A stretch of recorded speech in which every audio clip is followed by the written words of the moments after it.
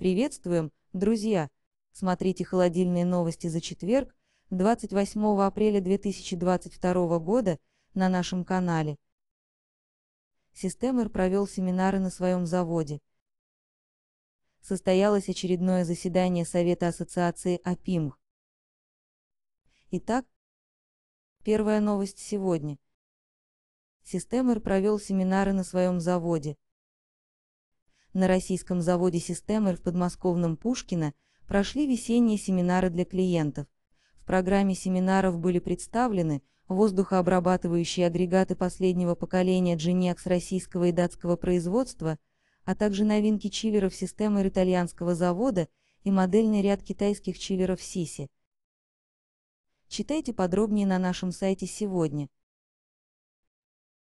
Вторая новость сегодня – состоялось очередное заседание Совета Ассоциации АПИМХ.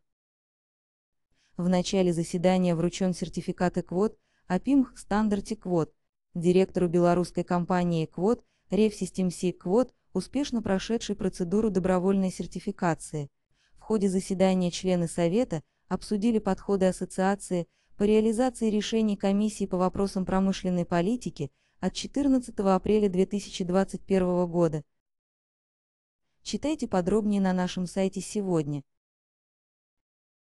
На сегодня все. Обсуждайте новости и обращайтесь за помощью к специалистам по холодильному оборудованию в наших группах. Ссылки внизу.